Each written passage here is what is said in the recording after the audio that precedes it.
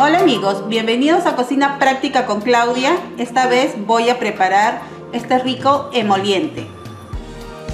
Bien, los ingredientes que voy a necesitar son 200 gramos de linaza, 250 gramos de cebada, acá tengo un paquete de cola de caballo, que así le llaman. Esto lo encuentran en los mercados, ya vienen así empaquetadito. Eh, también trae un poquito de cebada, un poquito de linaza. Bien, eh, acá tengo 9 limones para para este refresco y también azúcar cantidad necesaria porque esto ya el limón y el azúcar es al gusto. Y en mi olla tengo 6 litros de agua. Bien lo primero que voy a hacer eh, la linaza y la cebada todavía no lo lavo lo voy a poner sobre un colador y lo voy a lavar bien bien bien bien bien. Una vez que lo tengo lavado voy a hacer lo mismo con la cebada.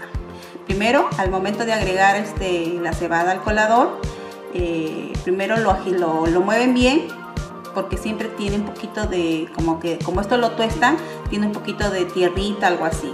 Ya de ahí lo lavan. De preferencia mejor hay que empezar primero por la cebada. Bien, acá voy a agregar la cebada. ¿Ve? Queda un poquito de, de tierra. Voy a quitar bien, mover bien, bien, bien, bien.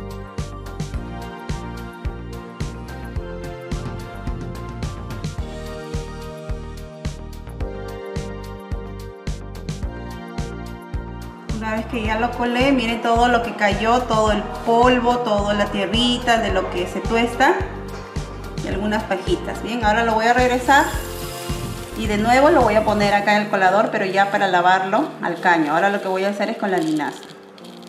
Esto ya lo dejo acá y voy a hacer lo mismo con la linaza.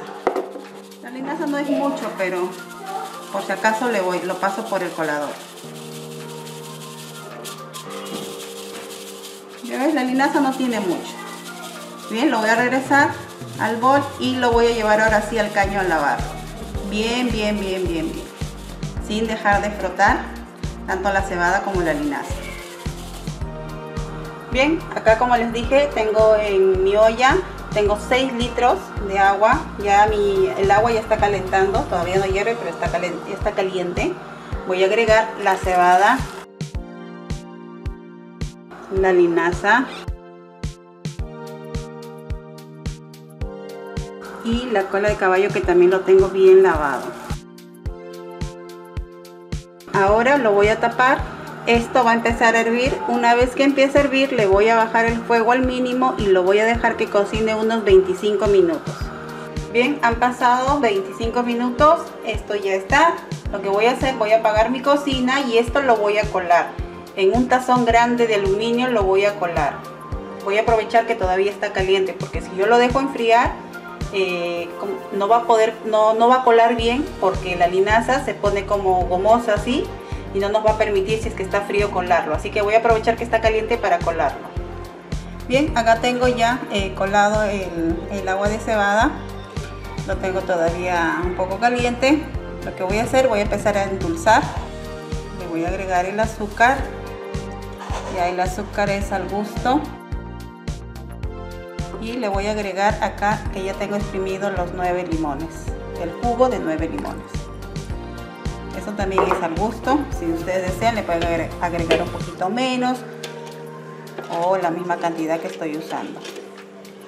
Ahora lo que me toca es solamente mover mover bien bien bien bien probar el azúcar que quede en su punto y vaciarlo a mi jarra y ya me quedaría listo este refresco de cebadita.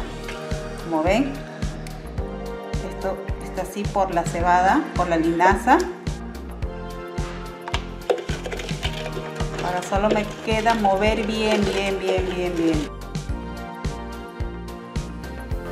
Bien una vez que terminé de endulzar el refresco de cebada o el emoliente eh, lo estoy acompañando con una rodajita o lo estoy decorando con una rodajita de limón. Esto también le pueden agregar eh, extracto de alfalfa. Es muy rico también así. Pero espero que les guste. Es un refresco muy rico, muy saludable. Y ahora en otoño también para este frío nos cae muy bien, ¿no? Espero que les guste esta receta y si les gustó no dejen de suscribirse a mi canal y de regalarme un dedito arriba. Y conmigo será hasta la próxima.